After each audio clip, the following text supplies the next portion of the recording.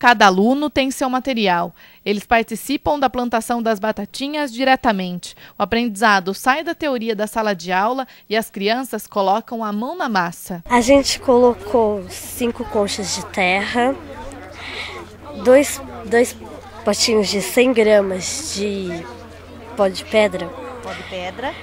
E cinco potinhos de 50 Grama, gramas, quatro potinhos de calcário. Misturamos, depois enchemos os potinhos.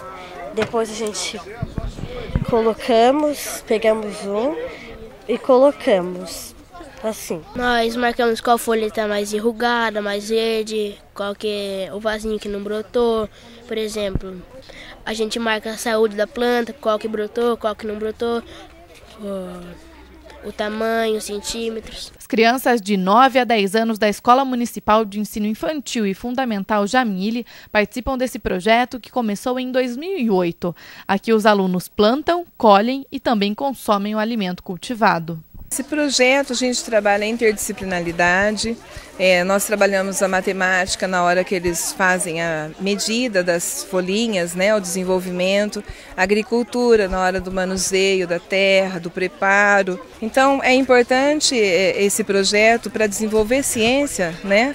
e ter esse contato com a terra. O secretário da Educação pretende colocar esse projeto em outras escolas municipais. Acho que o projeto Plantando Batatas Consciência ele é inovador do ponto de vista educacional, porque coloca as crianças não só em contato com a produção agrícola, mas em contato com um processo de identificação né, que coloca a ciência e as questões de transmissão de, de vírus pela, pelas plantas em, em relevo. Estivemos conversando para estendermos o projeto para outras escolas do município, de forma que pelo menos uma escola em cada região de Limeira, possibilitar que as crianças da região visitem e conheçam o projeto. Os alunos aprendem de maneira lúdica conceitos de ciências e já conseguem reconhecer as batatas doentes. Que eles aprendem todos os processos de, da plantação da batata. Da plantação e da, do aspecto de sanidade. Esse é o enfoque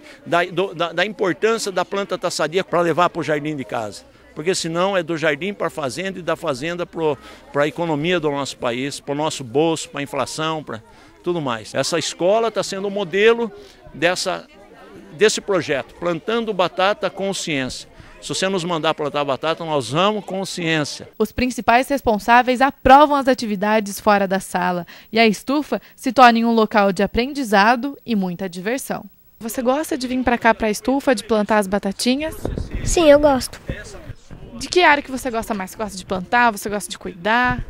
Eu gosto de cuidar. Prefere ficar aqui ou aprender lá dentro da sala? Aqui, porque aqui a gente pode aprender mais para plantar, cuidar da natureza e muitas mais coisas. Como que tá as suas plantinhas aqui? Você fez tudo direitinho? Como elas estão? Fiz sim, elas estão bem direitinho. Já dá para levar para casa ou ainda não? Ainda não.